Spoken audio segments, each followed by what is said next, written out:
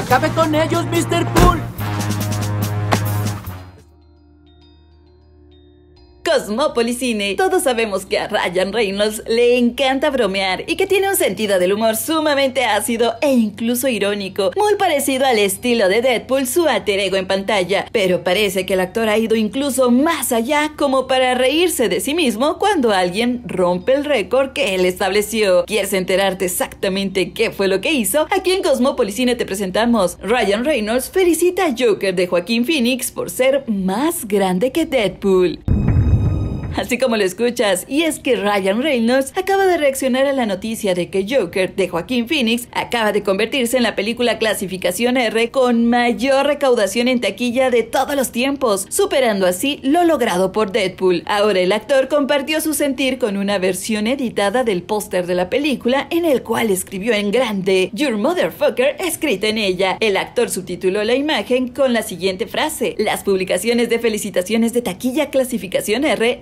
no son como las que estás acostumbrado. Y en el póster se puede ver al Joker de Joaquín Phoenix parado en la cima de unos escalones en los cuales Reynolds editó algunas de las cintas más importantes de la industria precisamente con clasificación R, como por ejemplo escribió Jesús aludiendo a la cinta La Pasión de Cristo. Más abajo viene Hugh Jackman por su trabajo en Logan. Ryan, quien ha estado en la cima de las listas taquilleras con clasificación para adultos durante los últimos tres años gracias a la franquicia de Deadpool pierde en este momento su posición colocándose en el segundo y tercer lugar. Y es que la película de Deadpool del 2016 mantuvo la corona durante dos años y no fue hasta el lanzamiento de Deadpool 2, la secuela, que lo hizo caer un lugar colocándolo en el segundo puesto. Pero ahora todo esto queda en el pasado gracias al increíble desempeño del Joker. Así que Ryan Reynolds y todos los fans de Deadpool van a tener que esperar a que salga la tercera entrega de Marvel Studios para que así intenten recuperar este título, lo cual lo veo un poquito difícil a medida de que la cifra recaudada por Joker continúa subiendo. Y es que simplemente las proyecciones dicen que podría terminar con más de 900 millones recaudados en todo el mundo. Curiosamente, en términos de dinero recaudado en taquilla a nivel mundial por parte de DC, Joker está lejos de alcanzar el primer sitio, ya que actualmente se encuentran por encima de él Wonder Woman, que recaudó 821 millones, Batman v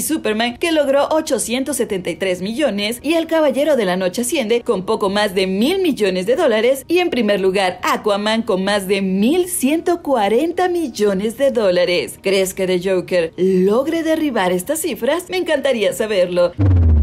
Si este video te gustó, te invito a que te suscribas a este canal. Además, no olvides activar la campanita de notificaciones para que siempre seas de los primeros en ver nuestros nuevos videos. Y recuerda, yo soy Maffer y nos vemos en la próxima, mientras que yo voy por más palomitas.